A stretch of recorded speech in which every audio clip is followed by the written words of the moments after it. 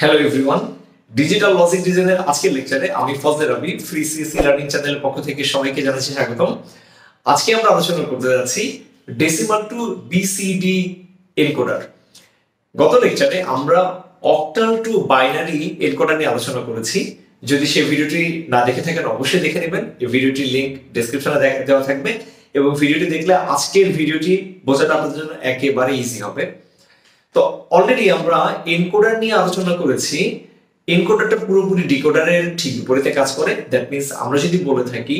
two to the power N সংখ্যক input line থেকে N সংখ্যক আউটপুট বা কিছু কিছু ক্ষেত্রে স্পেশাল কেস যেমন আজকে যেটা আলোচনা করছি আমরা সেটা হচ্ছে ডেসিমাল টু বিসিডি এনকোডার যেটা কিনা two to the power N সংখ্যকের কম সংখ্যক ইনপুট নিয়ে এন সংখ্যক আউটপুট জেনারেট করছে কারণ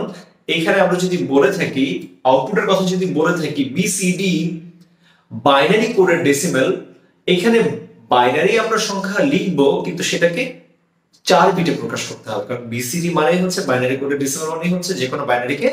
বা যে কোনো সংখ্যাকে চার বিট বাইনারি দিয়ে রিপ্রেজেন্ট করা তা আমরা যদি আউটপুট লাইন যদি হয়ে থাকে ফোর তাহলে ইনপুট লাইন কি হওয়া উচিত টু টু দিওয়ার ফোর কিন্তু টু টু দিওয়ার ফোর মানে সিক্সটিন কম্বিনেশন হচ্ছে না আমরা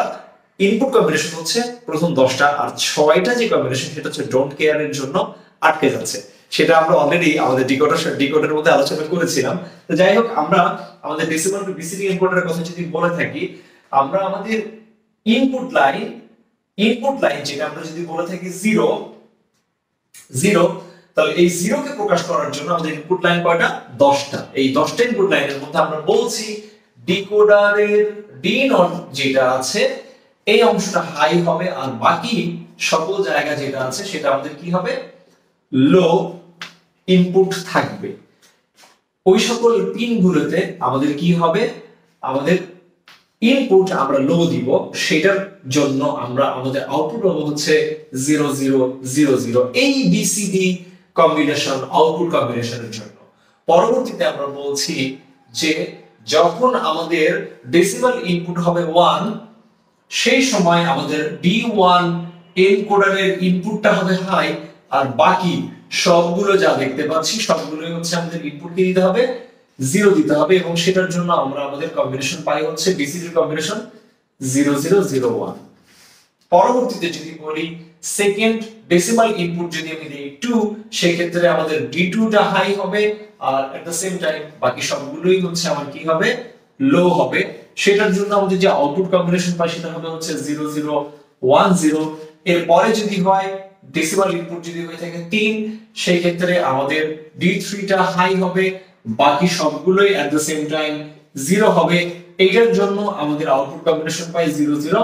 ওয়ান ওয়ান এক কথায় যদি বলতে থাকি এভাবে পুরো বিষয়টা যদি প্রোগ্রেস করে তাহলে ফোর ইনপুটের জন্য ডিকোডারে হচ্ছে আমি ফোর পাবো দেন ডি ফাইভ হাই থাকবে ডি সিক্স হাই থাকবে ডি সেভেন ডি এবং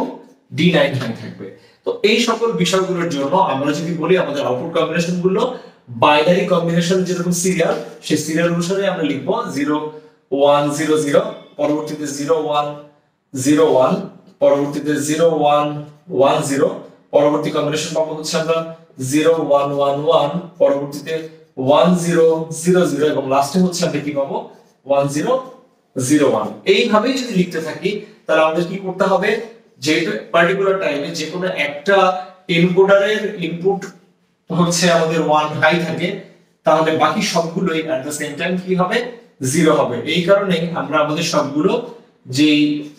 এনকোডারের ইনপুট সবগুলো কি করে দিচ্ছি সবগুলো আমরা অ্যাট দ্য সেম টাইমে সবগুলোই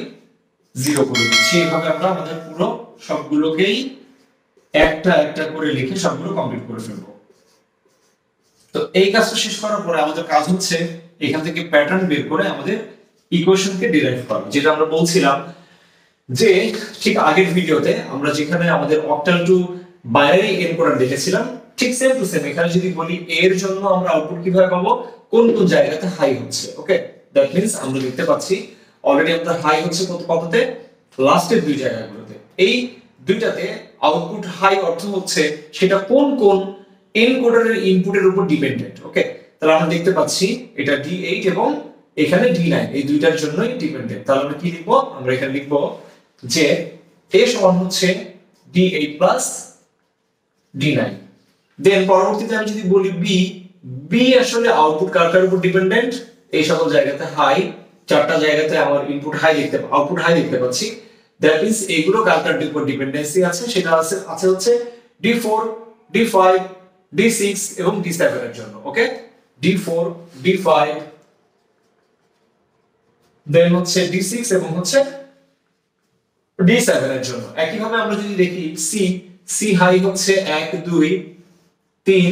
চার এই চারটার জন্য হাই তাহলে সেগুলো কোনগুলো কোনগুলো জায়গাতে কোন কোন ইনপুট ইনপুটারের জন্য সেটা হচ্ছে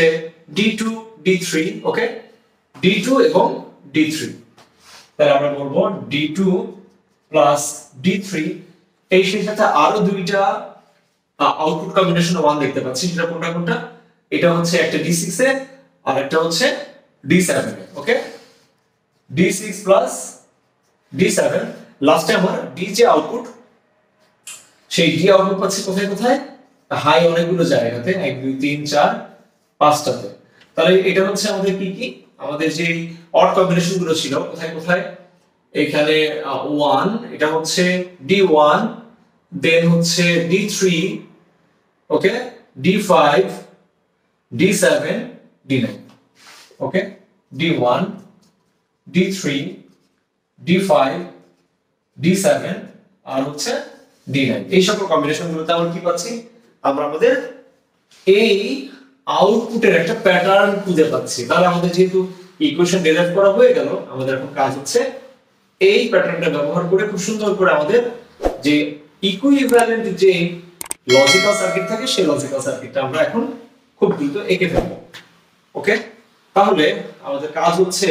যেহেতু ইনপুট লাইন হচ্ছে ডেসিমাল তার মানে দশটা তাহলে আমরা একটা একটা করে করে লিখবো এক দুই তিন চার পাঁচ ছয় সাত আট নয় এবং লাস্টলি দশ এভাবে যদি বলি তাহলে কি কি হচ্ছে D nought D one D two D three D four D five D six D seven D eight এবং ডি নাইন ওকে তাহলে আমরা আমাদের যেহেতু চারটা আউটপুট পাচ্ছি চারটা অর্গেটে তো চারটা অর্গেট লাগবে এই কারণ হচ্ছে যে কোনো একটা ইনপুট পেলেই এটার জন্য আউটপুট পেয়ে যাই আমরা তাহলে মানে আমরা বলবো এ দেন পরবর্তীতে বি দেন পরবর্তীতে সি এবং লাস্টে হচ্ছে ডি ওকে তাহলে এইভাবে বলা যায় আমরা যদি একটু টেনে লিখি তাহলে আর নেক্সট টাইম আর লিখতে হচ্ছে না